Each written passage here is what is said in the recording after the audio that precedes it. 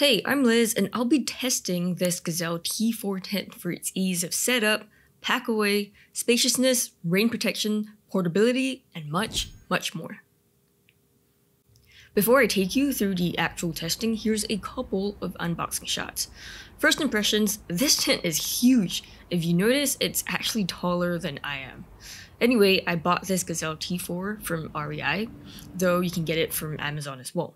Here's me unboxing it and, well, unboxing it again and just pulling the entire tent out of the box.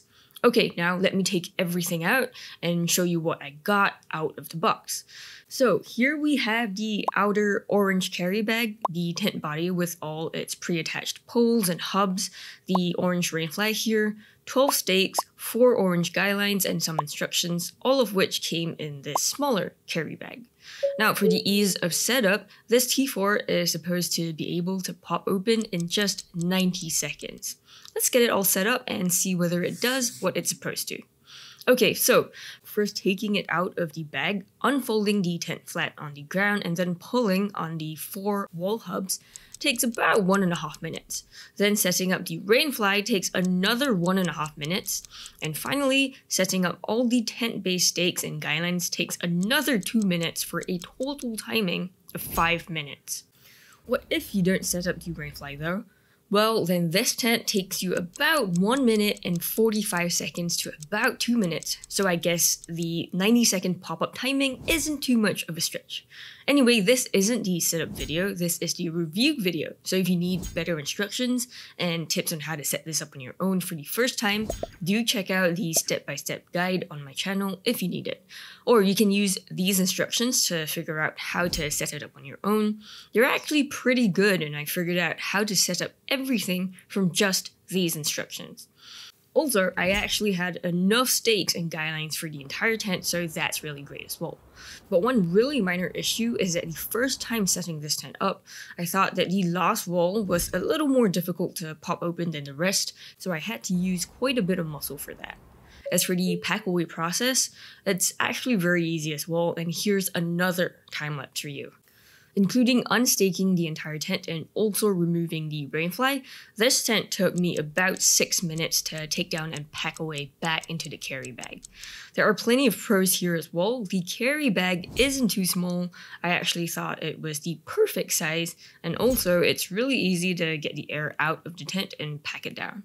I have another step-by-step guide on how to pack away this gazelle tent in my separate pack away video, so do check that out if you need more instructions and tips. For the base area, I measured the length of this Gazelle T4 to be about 94 inches, and the width also comes in at about 93 and a half inches. This gave me a square base and a total base area of almost exactly 61 square feet. On top of the base area, I also wanted to look at how many single pads I could fit into this Gazelle T4. Here's me inflating some of my sleeping pads, and here's what having two double pads, which is basically equivalent to four pads, looks like. I'll put the dimensions of my double pads on the screen here. Surprisingly, even though my pads are a little wider than regular size, which comes in at about 20 inches wide, they fit nicely into the tent and don't look too squished. On top of that, you even get a bit of gear storage at the foot of each pad, right here. And as for the queen bed sizing, well, I can fit just one queen bed into this T4. This mattress is almost the exact size of a queen bed, and this space here is too small to fit another queen bed, but you get lots of storage space, which is great.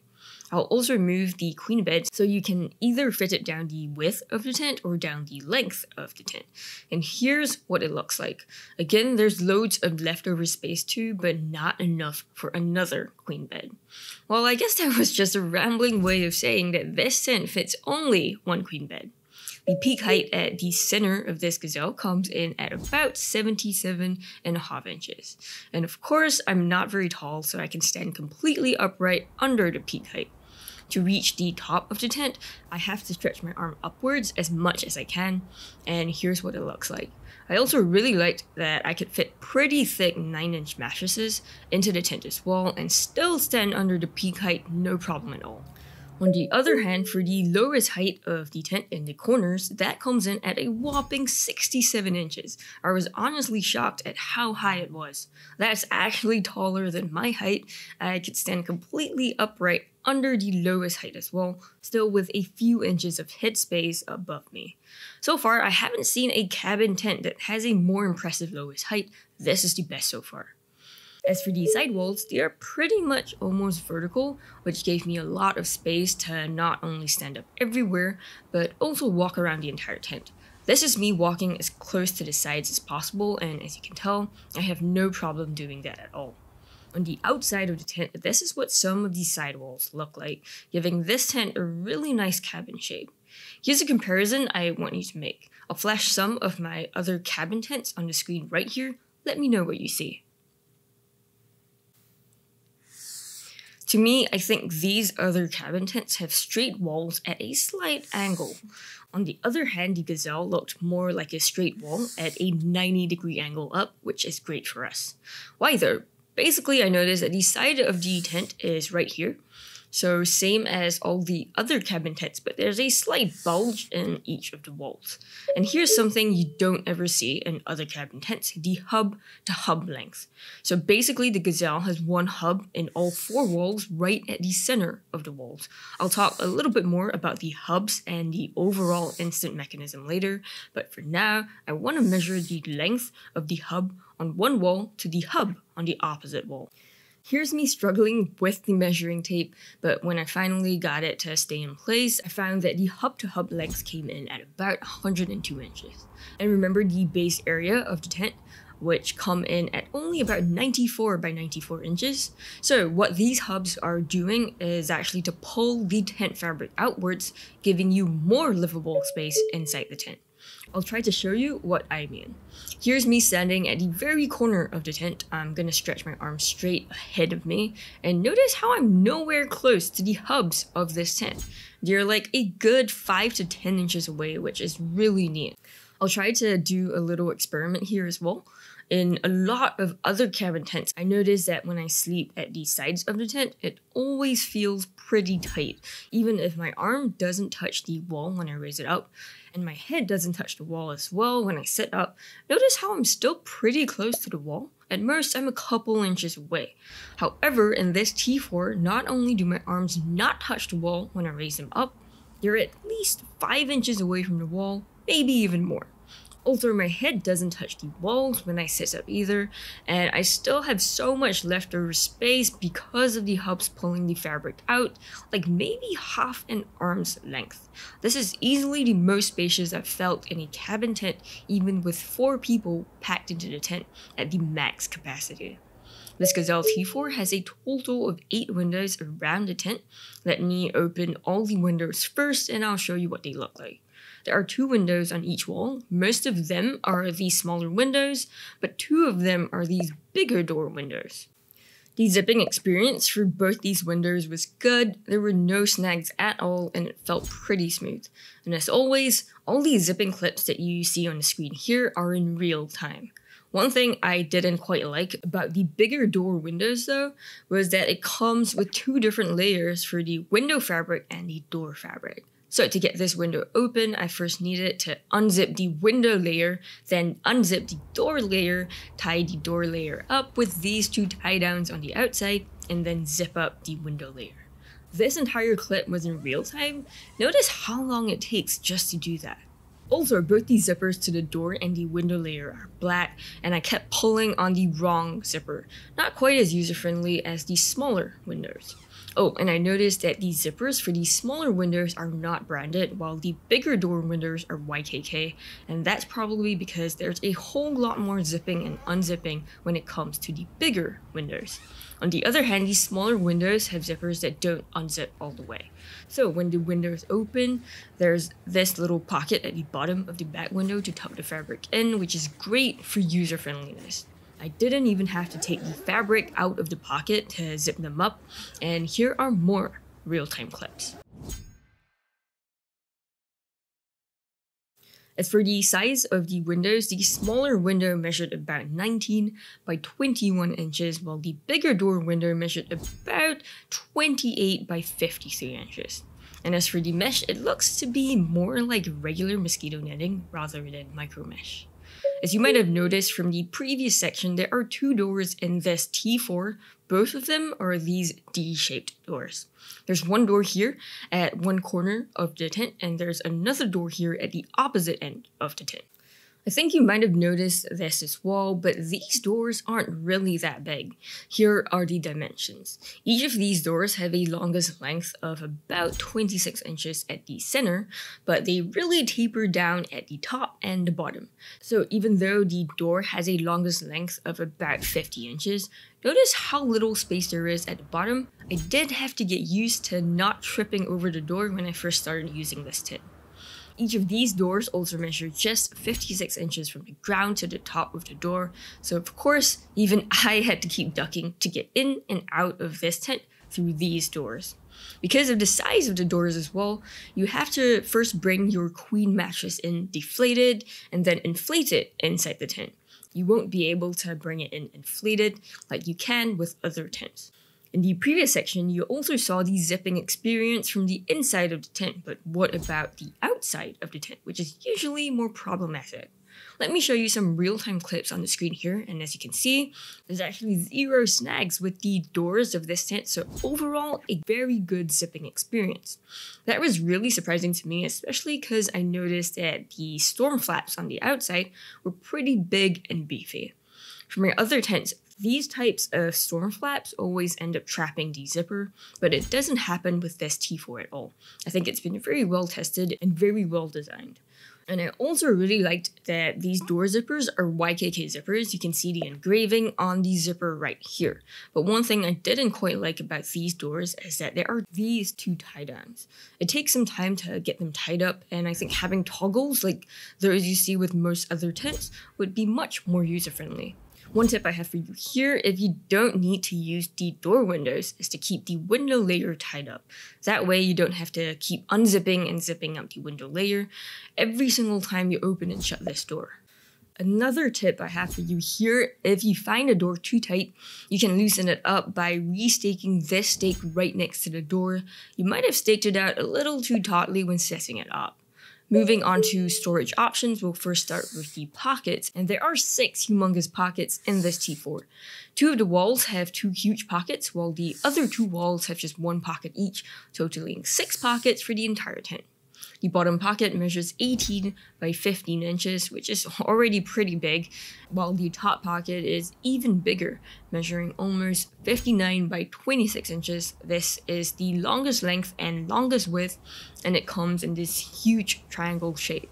Here's what it looks like when I stand beside it, and I can even stick my entire arm in. Only a small bit of the pocket has been sewn down here, the rest of the sides are openings that you can stuff your gear in. On top of the pockets, I even got a provided gear loft and it measures about 20 by 20 inches in this square shape. Each corner of the gear loft has a toggle which you can hook up to the four loops at the top of the tent. And here's a close-up of both the loop and the toggle. Apart from the gear loft loops, there isn't like a dedicated lantern loop inside the tent, though there is this strap hanging down from the top hub which you can use to hang a lightweight lantern on it. This is a Black Diamond Moji and I highly recommend not hanging anything too heavy on the strap because you don't want the hub to get pulled down by the weight and hit someone on the head. It does hurt, trust me, I made that mistake.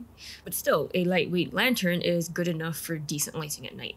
And even with the gear loft in place, you can still kind of fit a small lantern in there, which is kind of nice. Apart from the pockets, gear loft, and loops in this tent, I didn't see any other storage or features, like for example, there's no power port in this tent. On hot days, which is usually the weather that I'm camping in, I like to take the rain fly off to get a little more ventilation through the ceiling mesh and here's what it looks like. That coupled with the windows and doors makes for an overall decent amount of ventilation inside the tent. But because of all the ceiling mesh, this is strictly a three season summer camping tent, and I wouldn't use it for like winter camping or anything else. Now, this tent is pretty good for hot weather, but what about for rainy weather? Well, that's where the heavy rain test comes in. For this rain test, I used a water hose to simulate heavy rain, which looked like this, and I did this for one full hour. After the hour was up, I found some parts of the top mesh panels to be a little damp, and there were also a few droplets of water on the tent floor because it dripped down from the mesh. And that's because the rainfly isn't very long and it doesn't really overlap the top mesh panels by very much. Here's a look at what the rainfly gap above the mesh looks like in the rain. With heavy enough rain and the wind at the right angle, it will blow right under the rainfly and into the tent. Anywho, that's not the only problem I saw with this tent. Another problem is these pockets right here, and after the rain test, I noticed that this pocket seam here has been soaked with water. And the last problem is these hubs in the center of each wall, they were also a little damp from the inside. The thing is, it's not like these weren't factory taped or waterproofed. I actually checked the entire tent, and all the seams that were not covered by the rainfly were fully and perfectly taped. But look at these pocket seams. Notice how the seam taping covers only the top of the pocket. The rest of the pocket wasn't taped. And here's what the pocket seam looks like from the outside. A lot of water flows over it in the heavy rain and then goes into the seam and soaks the pocket on the inside. There isn't a lot of water in the seam after one hour. I'd give this tent about 5 to maybe 10 hours of heavy rain before it soaks the entire pocket and starts leaking into the tent. And for the hubs, the seams around the hub are taped. So I know Gazelle did its best, but you can't really tape the hub and it is exposed to the outside with these hub loops on the other side. So same issue with the pocket seams that I talked about before. Again, I'd give this tent maybe 5 to 10 hours of heavy rain before any real leaking issues.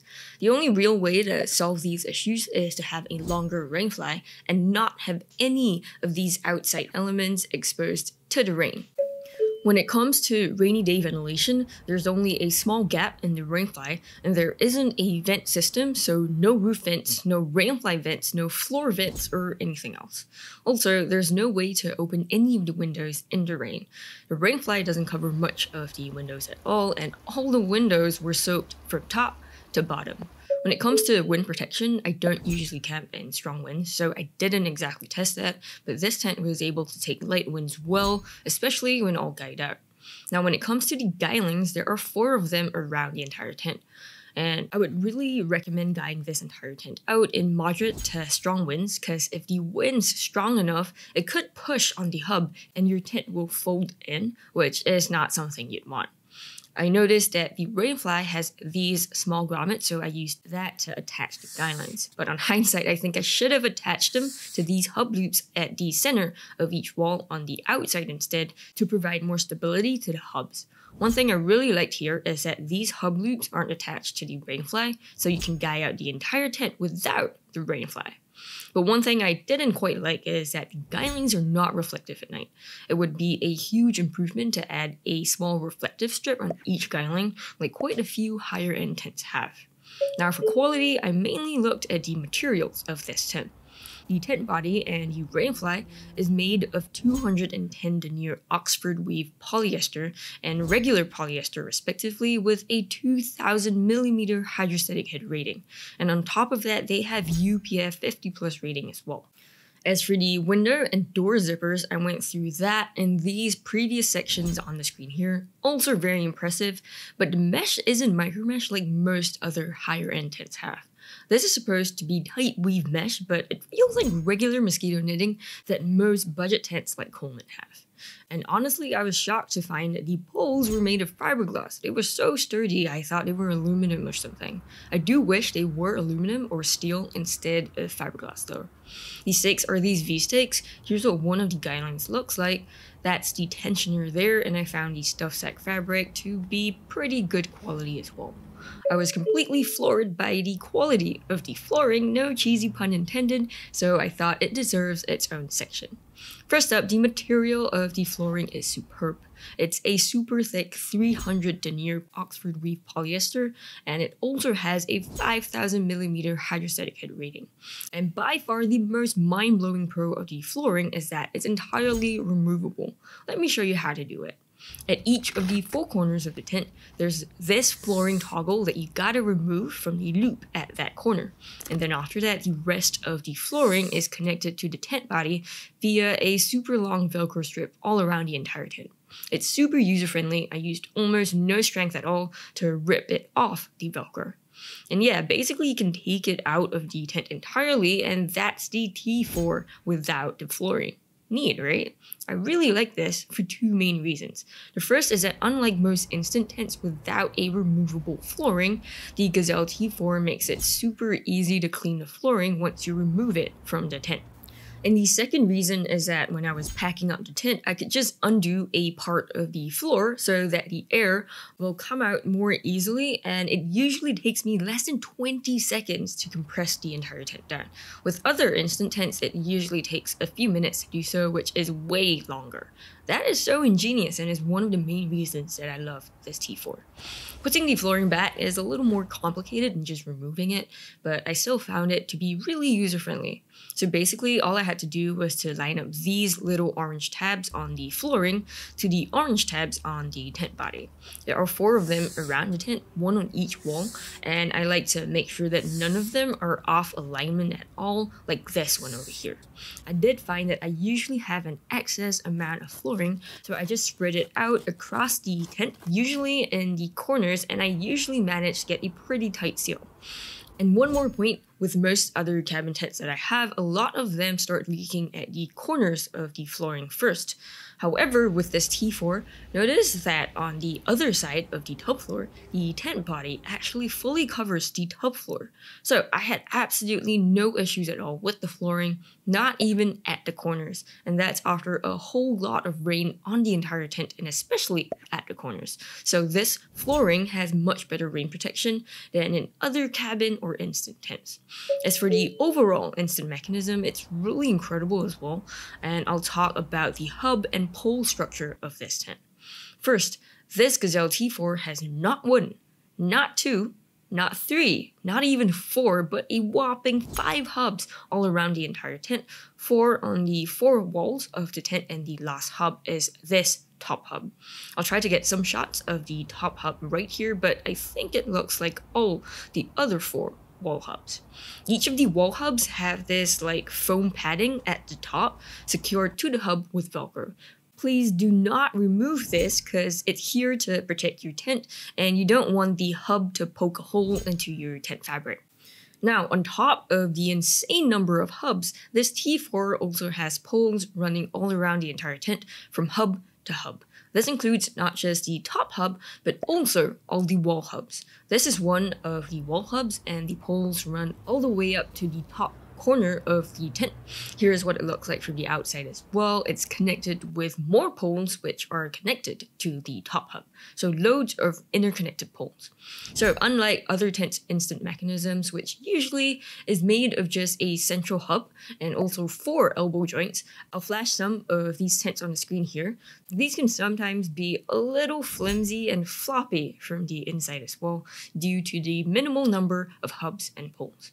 On the other hand, this T is super sturdy, it holds up really well, and I actually had much more livable space inside this tent than in other instant tents.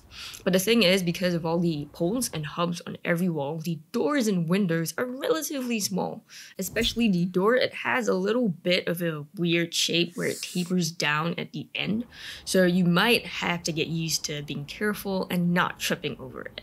The doors also can't be bigger than they currently are, so naturally there's not as much cross ventilation in this T4 than in other tents with two much bigger doors. The stitching and seams in the T4 were very good quality and double stitched. Throughout the entire tent, I didn't find any inconsistent areas or loose threads in the tent at all. Moving on to portability, I measured the pack size of my Gazelle T4 to be about 68 by 13 by about 10 inches. The carry bag has one handle at one side, another handle at the other end, And the main handle, which also has extra padding, is right in the middle for easy carry. And this T4 weighed about 34 pounds for everything. For pros, this Gazelle T4 has a super high quality instant mechanism. It actually does pop open completely in less than 2 minutes. I found it incredibly easy to do so. I had no issues at all, none that I can think of, and I think this is easily one of the best instant tent mechanisms that I've ever seen. There are so many more hubs and interconnecting poles than my other instant tents, which also adds to the high quality nature of this tent. On top of that, packing this tent weight is super easy. For most other instant tents, I do struggle with compressing the tent small enough to fit back into the carry bag, but this tent was remarkably easy. 20 seconds to compress the tent. Actually less, no joke. And that's because of the removable flooring, which I ripped out a section of to make it much easier to get the air out of the tent. This is one of the key features of the T4. It's the only instant tent that has this, and you can check out this test on the screen here for way more info on this. Another pro of this tent is the incredible amount of livable space inside. Even at the lowest height in the corners of the tent, it was still taller than I am, and I could stand up there no problem at all. On top of that, the hubs pull the tent body outwards, making it feel more spacious inside. Again, I conducted quite a few experiments on this tent when it comes to spaciousness and livability, so do check out these tests on the screen here if you happen to skip past them. I also thought that the attention to detail was superb as well. Most of the space around the entire tent was well maximized with loads of features and ventilation on every wall. There are one to two pockets on every wall, even a gear loft at the top, and that's way more storage than any other instant tent I have. There are also windows on every wall and even two doors, and that's despite there being so many hubs and poles on every wall as well. The materials of this tent are also superb. They're much thicker than any other family camping tent that I've had, and that includes tents, even from REI and the North Face. And the thickness of this gazelle ranges from a whopping 210 denier to 300 denier polyester. And it's also one of the rare few tents I have that have a UPF 50 plus rating as well. Rain protection in this tent is also decent. It can take you through light rain, moderate rain, and even a few hours of heavy rain. But here's where I move into the cons. This tent isn't exactly the most bomb-proof, especially for folks who love camping in the heavy rain. There were a few small problem areas that I noticed, and I estimate the limit of this tent in heavy rain to be anywhere between just 5 to 10 hours. You can check out these tests on the screen here for way more details, or you can just check out my separate rain test video as well for all the info that you might possibly need. And rainy day ventilation isn't the best, the windows can't be opened, and there are no vents as well. Another con is that the packed size is freaking humongous. I mean, if you just look at it, it's taller than I am, which really shocked me when I first bought this tent because I wasn't expecting that. Okay, so this is a 32 ounce Nalgene bottle that I have. Here's a four person REI Skyward cabin tent. This is a six person instant cabin tent from Ozark Trail. And this is the Gazelle T4. I thought that the packed size was a little bit ridiculous. It's longer than a 6 person instant tent, and compared to a 10 person instant tent that I tested in the past, the Gazelle is longer as well. It's actually a whopping 18 inches longer, and the Gazelle is also about double the size of a regular 4 person cabin tent. Another con that I can think of is that the Gazelle isn't cheap. It's one of my more expensive instant tents. But the good thing here is that sometimes Amazon, REI, and other retailers will run good sales on them, so it's still worth checking out, especially if there are sales going on. One thing I was really disappointed about was the warranty. I thought that something as expensive as this T4 would have a lifetime warranty, but I was shocked to find that it was only a one year warranty. That's more like something Coleman would give, and that's a budget friendly tent brand. But as long as you follow the instructions that I gave you in all of my Gazelle videos, especially the setup and pack away videos, you take good care of your tent. This tent should last you for quite a few years and you shouldn't need to use the warranty. Of course, I'd highly recommend this T4. It blew my mind and it's easily the best instant tent I have. And here's exactly how I know that. I tested the T4 against more than 5 of the best instant tents in the market in this video on the screen here. I'll put it up when it's ready, so do check check it out. Thank you for watching this review video. You're awesome, and I'll see you in the next one.